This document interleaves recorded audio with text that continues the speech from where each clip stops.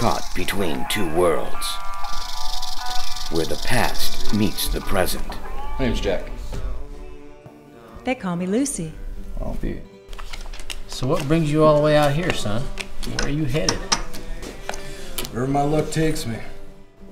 I'll drink to that. No one is innocent. Rome fucking dives like this for too long. Finally, I'm gonna be on Broadway. and nobody leaves. Just found out today that my business loan just went through just in time.